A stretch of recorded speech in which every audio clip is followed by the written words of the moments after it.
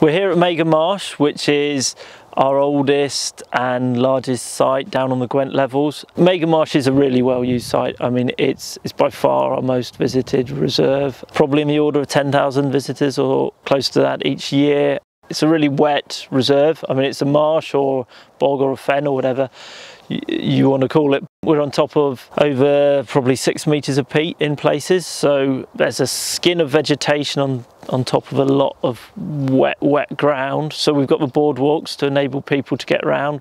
Here at Magor Marsh, we're, we're doing a, as much as we can at the moment to try to keep the site open and in a, in a safe condition, paths, fences, boardwalks, dipping platforms, um, the bird hide and everything. Um, now ordinarily we rely really heavily on a fantastic group of volunteers who support this work. Um, unfortunately that's not possible under COVID at the moment so GWT staff are doing what they can to, to try and keep these sites open and available for anyone who wishes to visit them but I mean we are really feeling the absence of a volunteer presence and also under these COVID regulations everything takes takes longer and is more awkward than ordinarily it would be for us.